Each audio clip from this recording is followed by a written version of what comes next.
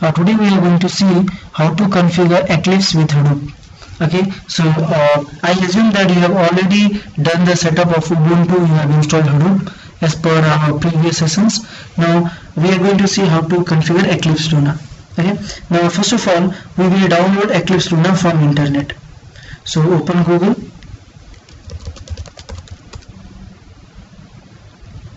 And type Eclipse Luna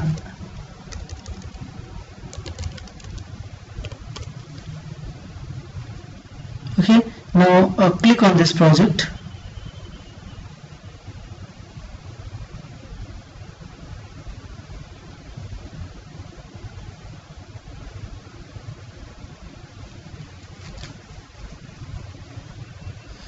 Or let me click this as well.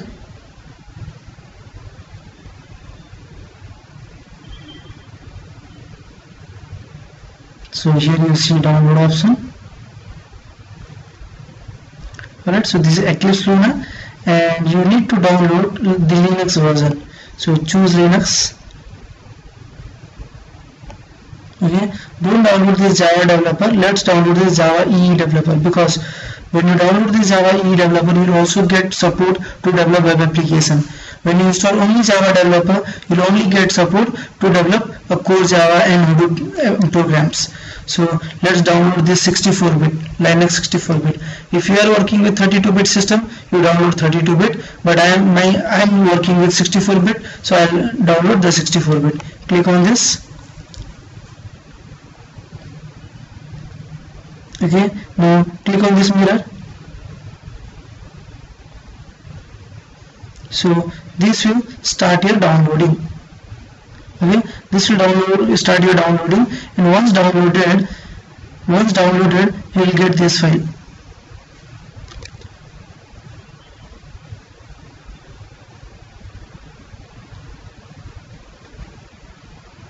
Once downloaded you will get this file. Eclipse JEE Luna for Linux 86 and 64 right now the next step would be copy this to your Ubuntu system. So there are two ways to copy. One is you can use share drive because I have copied I have pasted this in the share drive. So you can just go there and get it from the share drive. Double click on this. Go to my computer. Mount folder. HGFS, share drive. Uh, Ubuntu software. And this is the file. Is it so you can copy this copy and paste it to my computer home SD user. Okay? Paste it here. In case your share drive is not working you can also do it like this copy like hold it.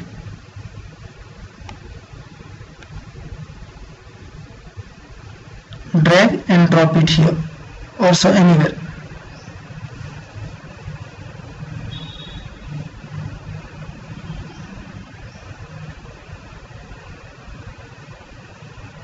Right? So you can do this way also. Then from here you move it or directly you can drag and drop it into slash home slash user. Slash home slash hadoop sd user now let's go to uh, yeah. This is what we have uh, copied. Now let's extract it. Right click and say extract. Okay and I would like to extract it in my SD user only. Say extract.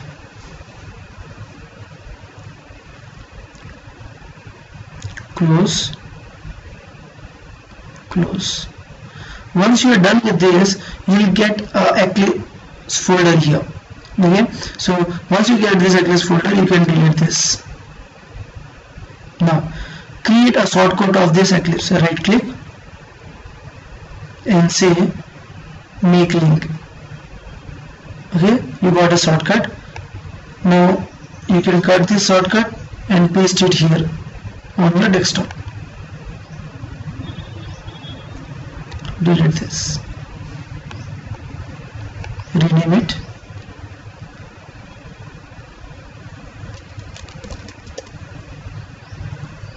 Done. Now let's launch this Eclipse.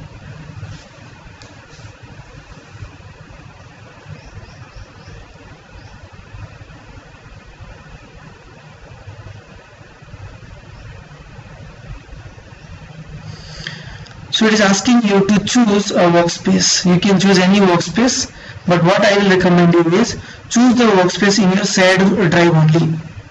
Browse. File system. Mount folder. HGFS shared drive. Let me create a folder here map uh, reduce workspace or I say my workspace. Okay inside this let me create another folder. Map reduce workspace. So in the set drive I created a folder called my workspace. Inside that I created another folder called map reduce workspace. Tomorrow when I start with Hive programming Pig programming I'll create one more workspace Hive workspace Pig workspace HBase workspace and all our project will put accordingly. Okay? Say okay. Now mount HGFS shared drive my workspace MapReduce workspace. The advantage of this approach would be if by mistakenly your VM got crashed still all your programs all your all your development will be saved in your shared drive so that you will not lose that. Say okay?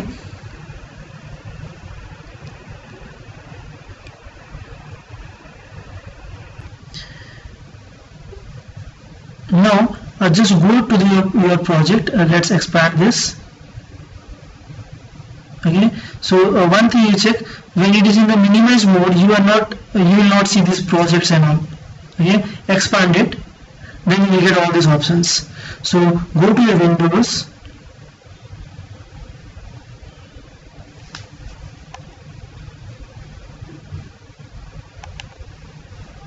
One minute let me close this.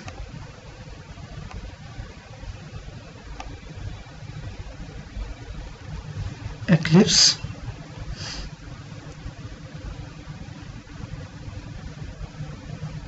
okay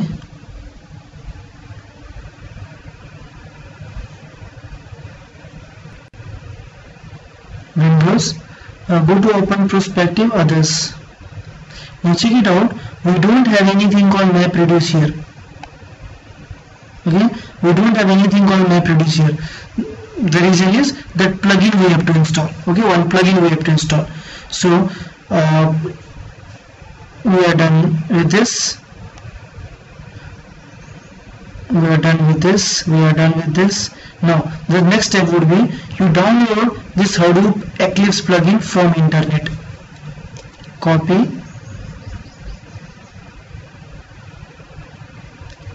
Paste. Download. Okay? You can download it from anywhere. So the first option is also good one. Right click on this. And click on this download okay click on this download. So once you download this you will get a zip file. You will get this zip file. Okay extract this zip. Extract. Once you extract once you extract this zip you will get a folder inside which you will get a jar file. Now you need to copy this jar file and paste it to and paste it to drop-ins folder of Eclipse. So go to the place where you have installed Eclipse. We will close this. Say ok. We will close this.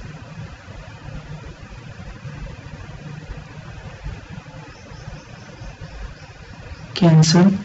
Now uh, go to home. Here I have Eclipse. Click on this. Now I have a folder called drop-ins okay? This folder is empty by default. So whatever plugin you have downloaded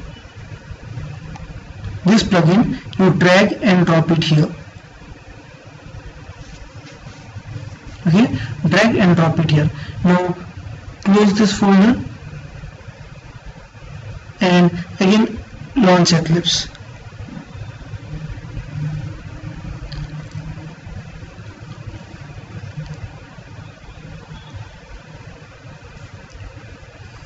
say OK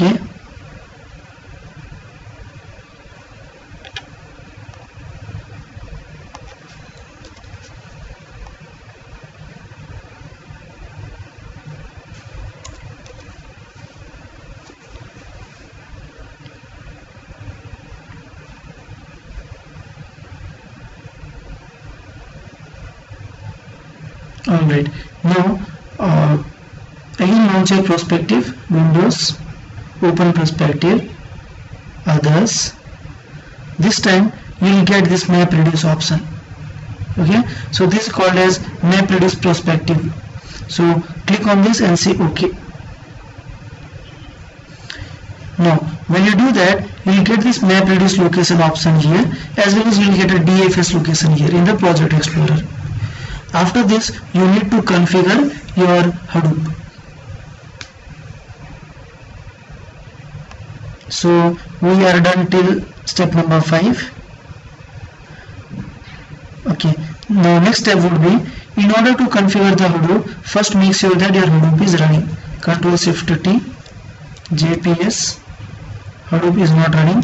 Start all.sh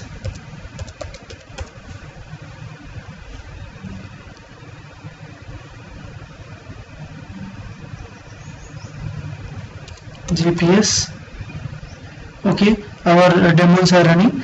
Now from this map reduce location here you right click and say new Hadoop location. Okay location name can be anything my location. Host localhost master localhost. Now port number. DFS uh, runs on port number 54310 okay and this one MapReduce runs on port number 54311 it is configurable but by default it runs on this port number.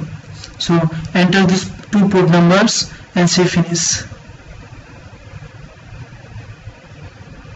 Okay. Once you are done with that go to your DFS location my location. Okay. Now this is the folder. This is the root directory inside the root we have app folder. In, and we have user folder. Inside the user we have sd user folder. Okay? Inside that we have these files. So do you remember in our yesterday's class we created these logs we created this file.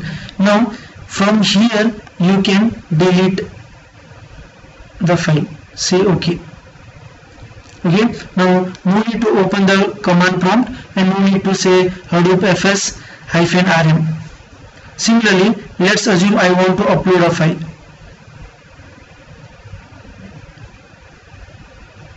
Let's assume i want to upload a file i'll create a file here. Uh, new document what.txt apple apple orange ball apple apple apple save now I would like to upload this file into HDFS so earlier what we used to do open the terminal and then write hadoop fs hyphen put what.txt to HDFS but this time since we have Eclipse with us okay inside this if you want you can create a folder create a new directory data say ok now once you are done with this say refresh data folder got created.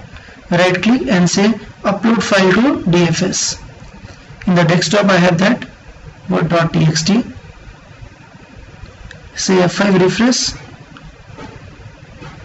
We got this. Okay now similarly i'll do what? From the terminal let me check whether it has really been uploaded in the HDFS or not hadoop fs ls we got a data folder. hadoop fs ls data. We got what txt okay? That means now instead of working with command line um, interface we can do all the activities copy upload from local to HDFS download from HDFS to local remove. Okay? You will not be able to do uh, the change permission and all but normally the programmer whatever uh, commands the programmer needs he can do it the basic steps he can do it through Eclipse only. No need to open the command prompt. Okay? So that's all for today's tutorial. Next in next tutorial we will see how to program HDFS using Eclipse and then we will go with our first MapReduce programming that is word count example. Alright, thank you for watching this and have a nice day.